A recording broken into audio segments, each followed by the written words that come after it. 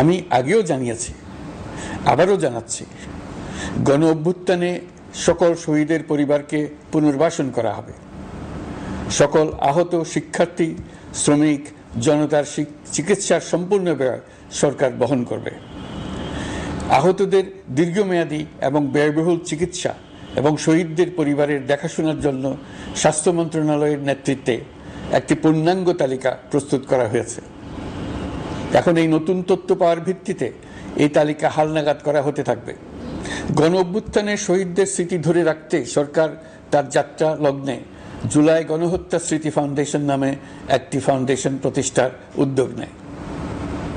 এখন সেই ফাউন্ডেশন তৈরি হয়েছে। সকল শহীদ পরিবার এবং আহতদের সর্বোত্তম চিকিৎসা সহ তাদের পরিবারের সম্পূর্ণ দায়িত্ব এই ফাউন্ডেশন গ্রহণ করছে।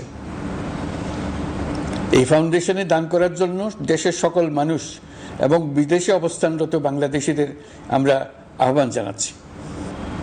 গত মাসে কুমিল্লা, নোয়াখালী, সিলেট অঞ্চলে আকস্মিক বন্যা এসব এলাকার মানুষকে হতভম্ব করে দিয়েছে। এখানে বেশিরভাগ এলাকায় কোনোদিন বন্যা হয়নি। তারা বন্যা মোকাবেলা করে অভ্যস্ত নন। দেশপ্রেমিক সশস্ত্র বাহিনী তাৎক্ষণিকভাবে বন্যা আক্রান্ত সবাইকে রক্ষার জন্য এগিয়ে আসে।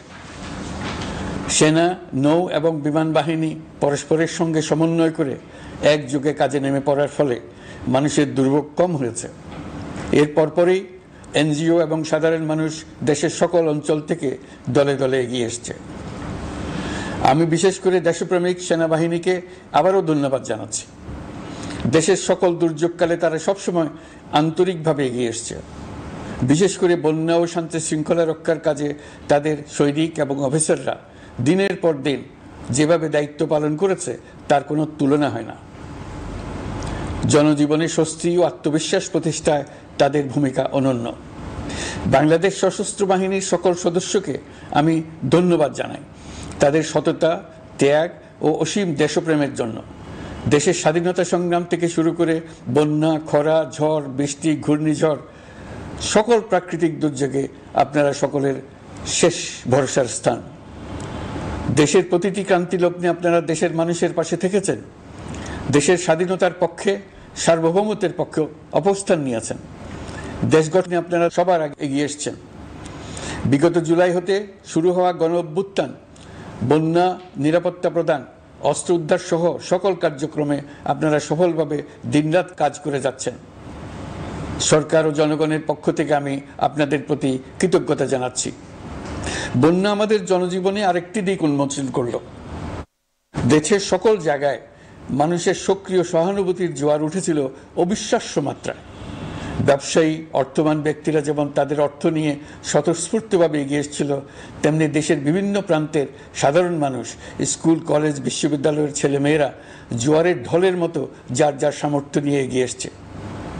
অনেকেই ছুটে গেছে বন্যার্থদের সহযোগিতা করার জন্য। এনজিওরা বিভিন্ন জায়গা থেকে ছুটে গেছে তাদের সহায়তা নিয়ে।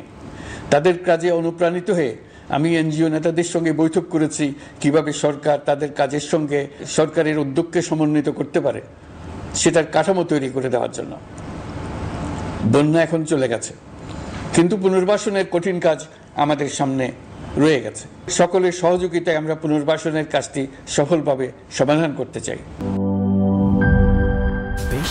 টমেটো আর সিক্রেট রেসিপির কম্বিনেশনে তৈরি প্রাণ সস সসের বস